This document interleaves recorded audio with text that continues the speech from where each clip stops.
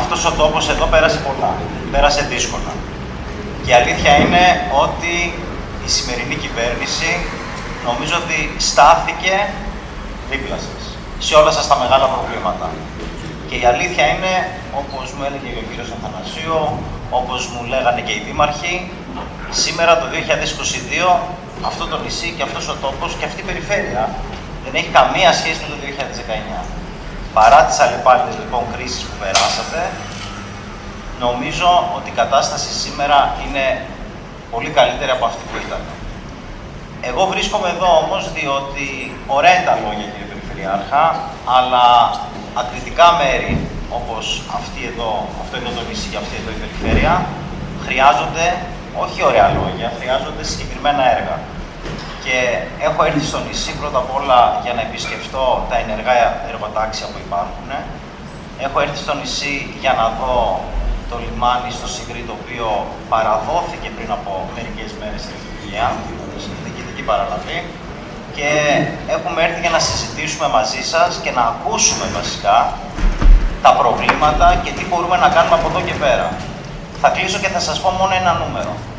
Τα τελευταία τρία χρόνια έχουν γίνει έργα στο νησί και γίνονται έργα στο νησί ύψος 170 εκατομμυρίων ευρώ. Νομίζω ότι αυτό είναι ένα νούμερο που αποδεικνύει ότι η κεντρική πολιτεία δεν ξεχνάει την ισιωτική Ελλάδα.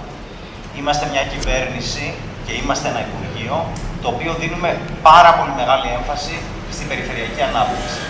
Τα έργα υποδομής που πρέπει να γίνονται και πρέπει να λειτουργούν προ όφελο του κοινωνικού συνόλου.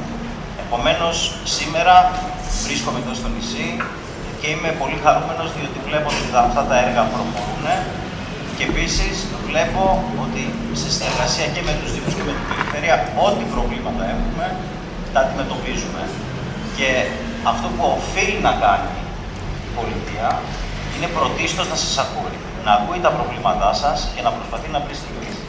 Και γι' αυτό είμαι σήμερα εδώ και σας ευχαριστώ πολύ που έχετε συγκαλέσει αυτή τη σύσκεψη, διότι θέλω από τους εκπροσώπους και τους τοπικούς φορείς να ακούσω τους προβληματισμούς και να ακούσω και τα μεγάλα ζητήματα που έχουν και να προσπαθήσουμε να βρούμε λύσεις στα πολύ συγκεκριμένα προβλήματα. Κύριε Περιφερειάρχα και πάλι σας ευχαριστώ πολύ και σας ευχαριστώ πολύ για τη σημαντική δουλειά που κάνετε.